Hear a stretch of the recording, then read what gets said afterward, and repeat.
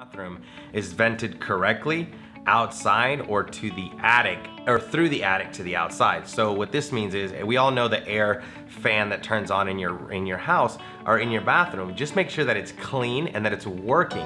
Uh, a lot of the times people just assume that that has a pipe and do you know where it goes? I didn't. Well, then I realized that it goes up through the attic and outside the house.